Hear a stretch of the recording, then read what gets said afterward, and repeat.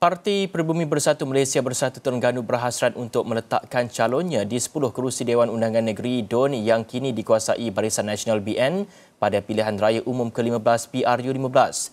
Jelas Ketua Badan Pimpinan Bersatu Terengganu, Datuk Razali Idris. Selain itu, parti itu juga akan mempertahankan kerusi Parlimen Hulu Terengganu serta meletakkan calonnya bertanding di kerusi Parlimen Besut.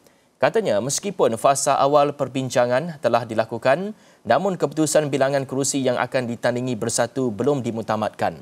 Beliau berkata pihaknya akan terus mengadakan rundingan lanjut bersama parti PAS bagi pengagihan dan pembahagian kerusi DUN dan parlimen itu nanti. Jelasnya pihaknya juga akan meneliti keahlian serta kekuatan untuk meraih kemenangan di kawasan tersebut dengan mengetengahkan calon yang berwibawa. Terengganu mempunyai 8 kerusi parlimen dengan 6 daripadanya dimenangi PAS iaitu Marang, Kuala Terengganu, Setiu, Kuala Nerus, Dungun dan Kemaman. UMNO memenangi dua kerusi iaitu Besut dan Hulu Terengganu. Namun kerusi Hulu Terengganu kemudiannya berpindah menjadi milik Parti Perbumi Bersatu Malaysia Bersatu setelah Datuk Rosul Wahid isytihar keluar parti dan menyertai Bersatu.